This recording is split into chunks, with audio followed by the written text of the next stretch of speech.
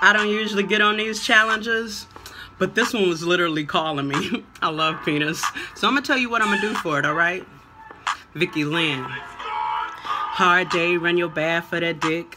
Tell jokes, make you laugh for that dick. No nagging, you relax for that dick. Cause I'ma cook and take out the trash for that dick. Over here doing kegels for that dick.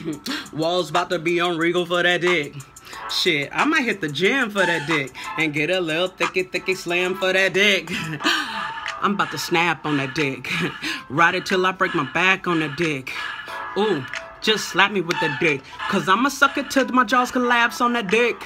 Mm, I can't pass on that dick. Might let you get a little ass for that dick.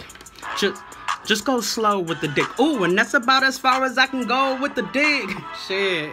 I'm about to change for that dick. Leave gray sweats and beard game for that dick. I the fuck did I just say? Um wait, um them some really great groups. Shit, I don't know. Like I've seen some amazing things in there.